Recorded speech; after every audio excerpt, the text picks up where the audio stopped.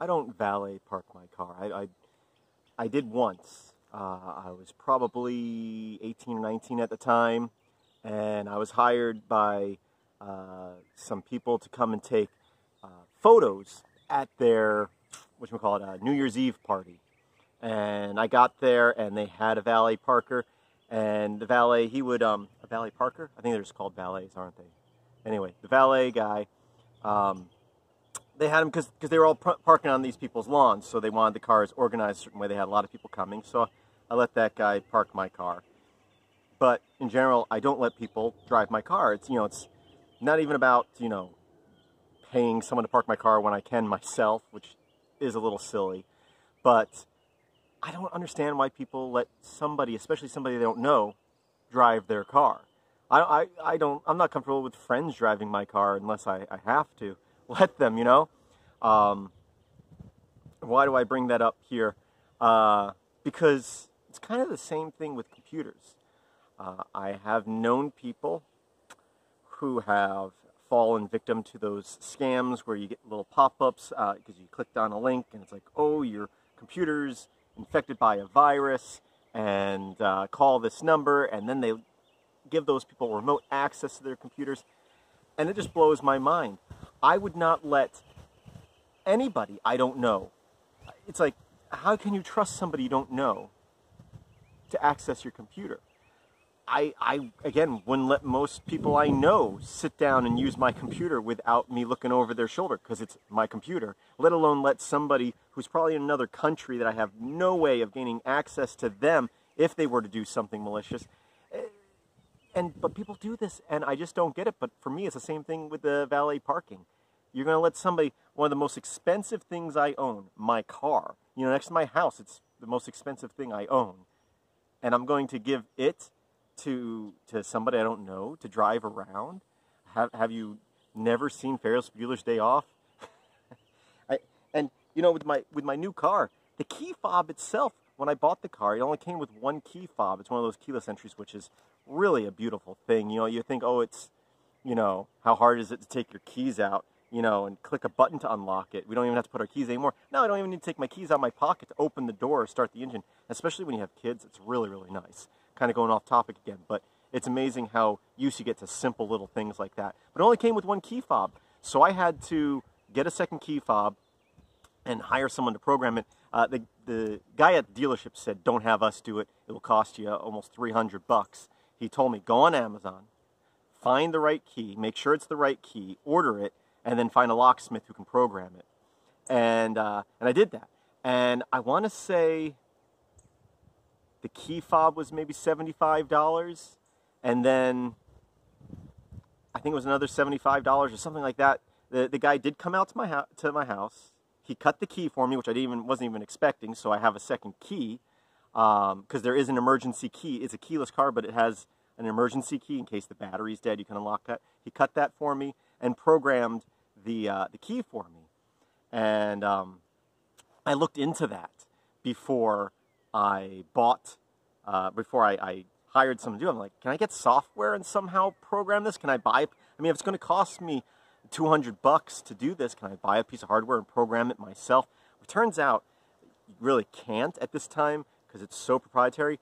And even talking to the locksmith, so he has this little computer device that he can program the keys with. But he has to buy security certificates for each key he programs and I think he pays like I, I forget. It was a it was about a year ago, uh, but I want to say he pays like ten or twenty bucks per security key, uh, security certificate, and it took him two tries. For some reason, my key didn't program the first time. He had to go through two of the certificates. The little machine has a countdown, and when he runs out, he's got to order more, and they load more certificates on there for him. So even if you have the hardware to program your key, you got to buy certificates for it, which is ridiculous. And of course, it's one of those it's about security when it's really not about security because obviously I could put certificates on my key and have them be secure without having to buy certificates from somebody. Um, it's all about making that extra buck. Um, but going back to that, it's like this this key fob plus programming it costs 200 bucks. I don't feel comfortable just giving my key fob to somebody I don't know. let alone the fact that my house key's on there. I also have a little flash drive on there. Obviously, I can take that off and just give him the key fob, but it's a $200 key fob for my car. And, and I just don't feel comfortable uh, letting someone else drive my car. I bring this up because I had to meet somebody at a restaurant today, and the restaurant had valet parking only. Valet parking only? I literally pull in their parking lot, and there's three empty spots right next to me. And I go, can I just park right there? No, valet parking only. I'm like, okay, I'll go park somewhere else. And I drove down the block where there's beach parking, drove around there for five minutes until a spot opened up and paid for parking over there and then walked back because I'm just not letting someone else drive my car. And again, it's the same as my computer. So that's, that's the rule of thumb is if you don't know and trust somebody, why would you let them use your computer? You know, why would you let them? Your computer carries all your information. I mean, most people have, you know, their passwords saved for their email so they don't have to type it in when they log in. So, and once you have access to someone's email, it's like that's that's how you reset accounts. You have access to pretty much all their other accounts if you have access to their computer. I actually SSH into a server to check my email. So if someone did get my computer, they would still need my uh, passphrase for my security key to log into my SSH server to check my email. Uh, but there's still, I still, you know, have a lot of my personal stuff on my computer. So why would I give somebody I don't know access to that? And they, I mean, even if though they, they have that, they could leave something on there, a keylogger or something that remotely sends stuff back. Why would you let anybody you don't know access your computer? Why would you let anybody you don't know drive your car? And it just blows my mind. I just don't understand the thought process behind that. But people do it all the time. Uh, where I live, there's valet parking everywhere. You know, and like I said, usually it's an option. It's not a requirement. And I just don't get it.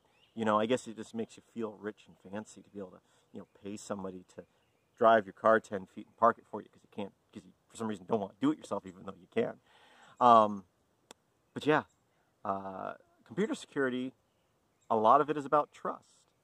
And people hire people from Geek Squad or wherever, you know, that they don't know to work on their computers. And I just don't see the trust there. And I mean, and you can you can search, you know, online, find videos of these undercover people uh, watching these tech guys who come to people's houses to work on their computers, and the malicious stuff they do. Sometimes they install stuff they shouldn't, and sometimes they just flat out lie so they can charge for other stuff. And I'm not even saying that the majority of computer uh, repair people, wherever you want to call them, are like that. Uh, but a good percentage of them are and you don't know if you don't know the person. And really, I, I, I actually do think that most of them are scam artists. Um, but because they're always trying to sell you software, they're always trying to sell you some antivirus software. If you've watched my channel, you know my views on antivirus software. That's a complete scam. It's just ridiculous. A scam started by McAfee, who's a nut job, to make other people paranoid so they'd buy his software. And 30 years later, people are still doing it. I mean, not that he's involved with the McAfee software anymore, but people, I, and I see, I see YouTube channels talking about it, like Hak5. I mean, they talk about uh, installing antivirus. It's like, really? You're going to suggest that? How about just securing your computer? Antivirus is for, oh, I really don't, I'm not going to secure my computer, so hopefully this thing will alert me if something happens. Anyway, those are my random thoughts of the day on giving random people access to your valuable things, such as your computers and cars. It's kind of like another example of this. you have a coupon on your phone and you show it to somebody, and they're like, "Oh, can I see your phone?" That happened to me once, like back when smartphones first came out, like 10 years ago. You know, I'm at a restaurant. Here, here I got this coupon, and the server went, "Oh, oh let me see," and then they turned and went back behind the register with my phone. I'm like, I wasn't expecting them to do that, and now it's just like no, you can't. You can't. Hold my phone. Look, just just write down the number from the from the coupon. It's like, no, I'm not going to hand you my phone. It literally takes five seconds, especially if my phone's unlocked, for you to plug in something into the USB, and now you own my phone. People, people, if you don't personally know somebody, don't trust them. And if you do personally know them, still don't trust them. Thanks for watching. Have a great day.